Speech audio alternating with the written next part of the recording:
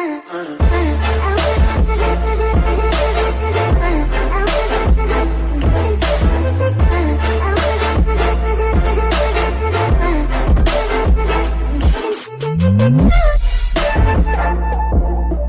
hello guys, how are you today? I hope you're doing well. If you're in the comment section, and today I'm back with another interesting story, and uh, this is going to be neglected uh, fire dragon Deku testing story. And uh, so let's get into our video.